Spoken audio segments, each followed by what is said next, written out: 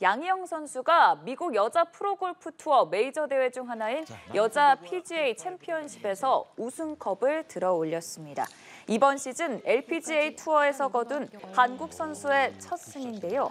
이번 대회 우승으로 리그 통산 4승째를 기록한 양희영은 다음 달 열리는 파리올림픽에 출전할 가능성이 높아졌습니다.